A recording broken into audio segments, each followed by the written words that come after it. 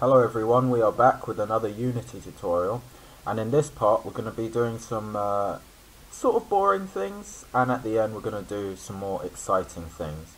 The first thing that we need to do, which is going to be the boring stuff, is make a boundary for our bullets. Because as we saw last time, our bullets just keep going and they fill up our scene, which we don't want because that takes up resources. So we're going to go to create 3D object cube and then we're going to reset this cube's transformations uh, so that it's at the center. And we're going to scale it up. So we're going to take this to a scale of 10 we're going to take this to a scale of 20 along the z-axis. And then we're going to what we're going to do next is we're going to get rid of this mesh renderer so we can't see that in our game view. Now the reason I've done this is to create a little boundary or a big boundary around our game space what we want to do is select is trigger for this. And basically what this boundary is going to be is it's going to be our kill box for the bullets that we fire. So what we need to do to be able to actually have that happen is we need to add a component. So let's go to add component new script and then we're going to call this kill box. And then go create and add Okay, so now we're over here in MonoDevelop, and what we want to do is just get rid of that sample code. And basically what I'm going to do is just paste in the code because it's very simple and um, I put it together before from different things that I got from different areas. Um, and we're just going to talk about it for a quick second. So this is our code.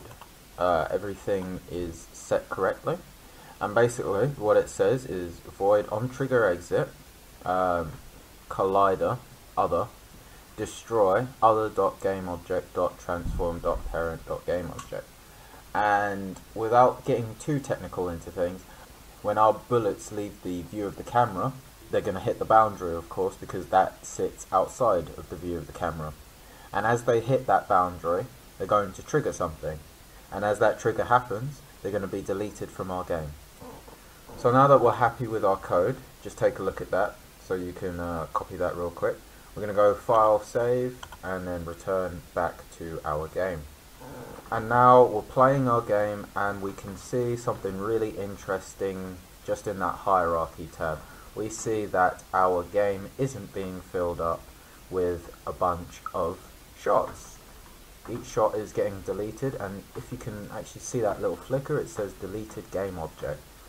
So, we've got that sorted, and now our resources aren't going to be depleted.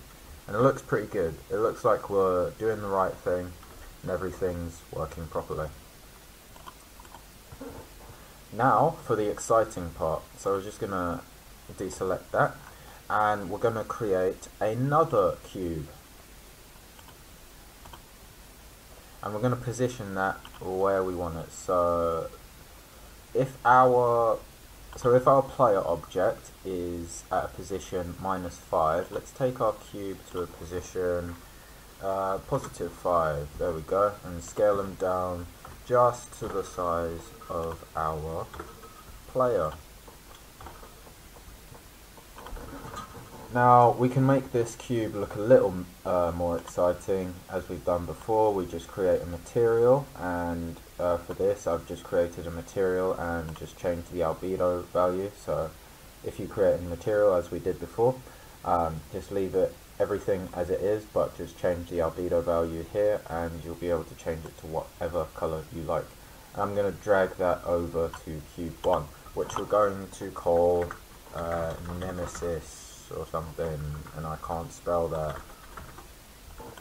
Alright, now this is going to be our enemy. Now to make this our enemy, what we're going to need to do is we're going to have to add a component, and uh, to do that we just, you know, add component, new script, and let's call this uh, enemy, yeah, let's just call it enemy movement or something. Uh, there we go make sure it's C sharp and then go to create and add. Okay, so now that we're in MonoDevelop, let me explain something with how we're going to make the code for our enemy mover. So as you can see here, I've already got the code up and I was testing it before just to make sure that everything worked. Now you can see that this is very complicated right now, but I'll do things step by step. Uh, uh, it might be a little jittery, but I'm going to do things step by step and explain things as best I can. There may be some things that elude me, but just trust me. I've tested out this code and it will work and give you the results that you need. If you want to learn more about this code, I'll leave a uh, sort of, I'll leave something in the description just to tell you where I got some of this information from. And um, yeah, let's just get started. So as you can see here, we've got a bunch of public classes because this is going to be quite a complicated piece of work. Uh, we've got a public transform, which are going to be our waypoints, and we are able to set how many waypoints we want. Now the purpose of our waypoints is going to be to have our enemy move from one destination to another destination to another destination and we're going to make that movement loop. Now we've got a public float speed, I'm sure we're all um, used to that. Got a public integer uh, current waypoint. We got a public boolean statement. Patrol equals true. We got a public vector 3 got uh, we've got actually three public vector threes and we won't go too much into messing around with these but I'll just keep them in just to make sure I don't mess around with the code too much. So this is the next section of code that you're going to want to input. There's not really much for me to say here because it does get quite complicated but we're just going to recognize similar lines like velocity and um, this is basically if a certain statement is true from my understanding, if a certain statement is true, we're going to bridge the gap. Uh, the distance is going to be closed by our enemy moving to a transform position, which is going to be dictated by the waypoints that we set. So these are the new lines that I've pasted over from my testing code just to continue what we're doing here. And there's uh, quite a few else statements so that we have different things happening for uh, different circumstances. And then from here we see that we've got another get component rigid body dot velocity line to give us the velocity that we need. And here we've just got a little bit of fun that I found from the uh, Unity website, which is going to be something interesting. Make sure you uh, put this line of code in so that you, you know, experience the joy that we're about to experience. Now, just so everyone has a good idea of uh, the code, I'm just going to leave it on the screen for a little bit just pause at your leisure. So this is what our code should look like once we're done with it. So I'll just leave this on the screen so you can copy it up. And then once you're done here, we'll just return back to Unity. So just hit save and then we can return. Okay, after experiencing a couple of technical hiccups from Unity, we're back with our code. I trust this the most, this uh, enemy move test, because I think there's a little bit of a complication in the one that I just created. So just take a good look at this uh, code, pause the video at this point if you want to uh, copy this code. And I'll just scroll down now. And then once you're done, we can return to Unity. So we're going to hit File, Save, and then go back to Unity.